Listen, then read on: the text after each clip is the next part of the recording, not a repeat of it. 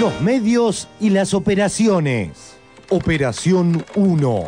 Salazar Redrado. Objetivo. Difusión de un falso romance que posicione el libro del devaluado economista. Un trabajo del Canal América, dueño de Narváez, con su amigo Martín Redrado, de imponer un libro que no se está vendiendo para beneficio de sus ideas. Este es el gran rumor del momento, esta relación sin reservas es el libro Martín Redrado. Hoy las tapas de revistas hablan del romance de Luli, eh, de Luciana Salazar, con el ex titular del Banco Central. Bueno, dos lindos. Romance menos pensado. Definitivamente, no pegan ni con cola, chicas. no pega. Me parece que la cola pega. Salazar habría publicado en su Facebook una frase contundente. El amor ha tocado a la puerta nuevamente. Me animaré a abrirle la puerta sin reservas. Lo que podría entenderse como un parafraseo del nuevo libro de Redrado titulado justamente Sin reserva. No es casualidad. Es justo, ¿no? Si no hubiera sido por Voy por Luciana Salazar, del libro yo no me enteraba. Si no hubiera sido por Voy por Luciana Salazar, del libro yo no me enteraba. Un trabajo del Canal América, dueño de Narváez, con su amigo Martín Redrado, de imponer un libro que no se está vendiendo para beneficio de sus ideas. Efectividad de la operación. 0%. Operación 2. Gripe A. Objetivo. Generar psicosis colectiva en la población y que esto permita la venta de los fármacos Tamiflu y Relenza.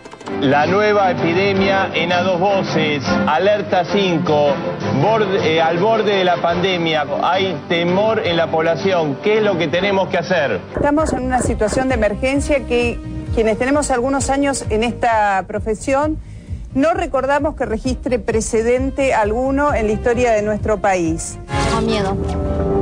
Estuve mirando la tele toda la mañana y, y me dio mucho miedo. ¿No te da miedo viajar, viajar sin barbijo, sin...? Sí, me da miedo. ¿Tiene miedo a la gripe? Sí, sí. ¿Tienes miedo de, de contagiarte en el colectivo cuando va mucha gente, cuando el colectivo va muy lleno? Eh, la verdad que yo sí. Te sirven un montón de pasajeros por día. ¿No tenés miedo a contagiarte la gripe? Sí. La Nación. Domingo 6 de junio. Acusan a la OMS por el manejo de la gripe A. Ocultó vínculos con dos laboratorios. La gestión de la pandemia de gripe A por la Organización Mundial de la Salud, OMS, fue poco transparente. Según un estudio del British Medical Journal, una de las revistas médicas de referencia, un informe clave de la OMS ocultó los vínculos financieros entre sus expertos y las farmacéuticas Roche y Glaxo, fabricantes de Tamiflu y Relenza, los fármacos antivirales contra el virus H1N1. De gripe A, H1N1. La influencia eh, porcina, la gripe de porcinas. Que me han contagiado la gripe porcina. Gripe porcina. Alerta de epidemia sigue cobrando. porcina. Gripe porcina. De la gripe porcina. Pasamos a la fase 5. Aumentar a fase 6. Estamos preocupados porque no nos hablan con la verdad. ¿Tienen a la gente que se preocupa por demás, que, que realmente está alterada con este tema, digamos? Es que si ves la tele te, te agarra una obsesión de que no querés salir a tu casa. Hay que hacer la vida normal. Me siguen llegando datos privados donde te hablan de morgues que están colapsadas, morgues que están colapsadas en hospitales. Me hablan de ambulancias que no dan abasto. Doctor, una vez más, muchísimas No, muchas gracias. gracias usted por eh. Ha sido un placer. ¿eh? Gracias, doctor. Yo Yo no doy más ¿eh? besos. No, no, No, no, no, doy más besos. Discúlpeme. Yo Yo no doy más ¿eh? besos. No, no, No, doy más besos. Discúlpeme. Según la Organización Mundial de la Salud, al día 30 de junio del 2009, la influenza AH1N1 causó 382 muertos en todo el mundo. Analicemos las cifras mundiales de otras enfermedades. Actualmente en el mundo mueren cada año 2 millones de personas a causa de la malaria. Muertes que se podrían evitar tan solo con un mosquitero.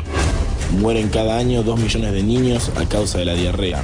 Muertes que se podrían evitar con un suero oral de 25 centavos de dólar. Mueren cada año 10 millones de personas a causa de enfermedades curables como el sarampión o la neumonía.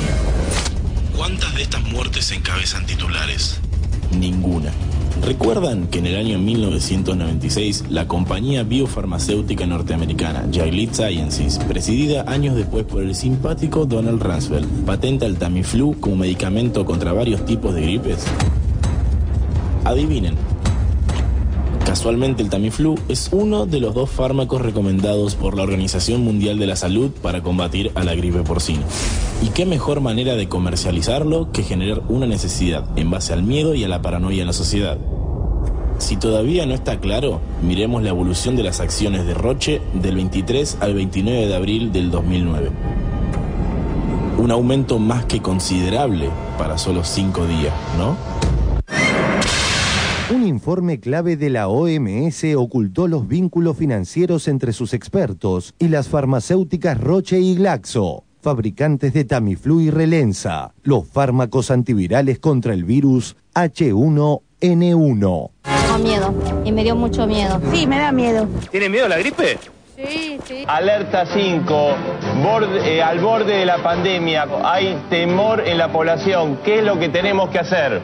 Efectividad de la operación, 90%.